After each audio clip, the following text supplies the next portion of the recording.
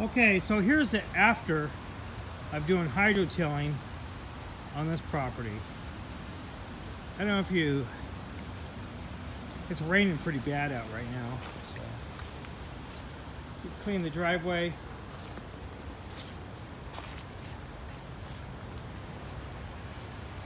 Got the roof all clean up above.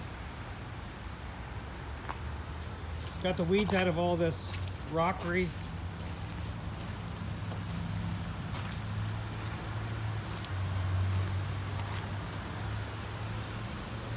Roof looks awesome. I wasn't sure. This 40 year old roof. It was treacherous not to destroy it. Kind of cleaned up the fence a little bit.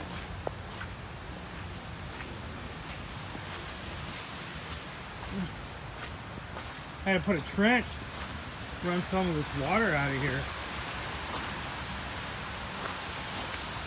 It's been just pouring today like Washingtonian weather. So anyway, this gets looks good, see? Compared to what it was. And the roof's all clean up there.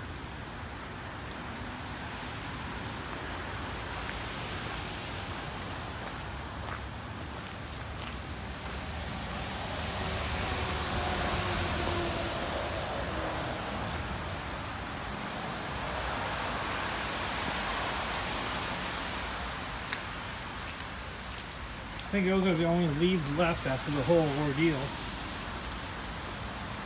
Wash this wall, it was pretty bad. I know it don't look like it's been washed, but it was green before.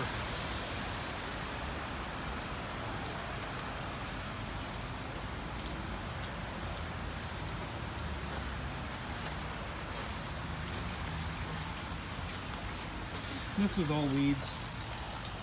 This is all moss all over it. So when you do it, get into a situation like this, what you do is you just put artificial grass over top of it. That's how you fix the concrete. Just glue it down. Pour pour some uh, concrete in these cracks right here and there. Just glob it in there. Who cares if it sticks or not, really, to speak of. And you just put artificial grass over it. Anyway, this turned out really good. This was one big blanket of weeds. Wash the walls. It was hard. Paint's coming off of it.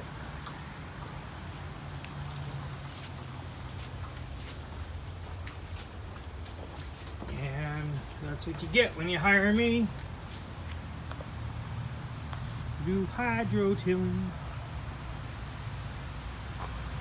All with an oscillating pressure washer tip. This one was done with this brand new DeWalt 4400 PSI pressure washer.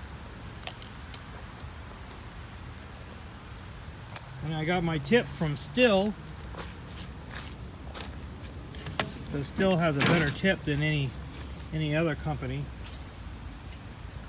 See, it's a good tip.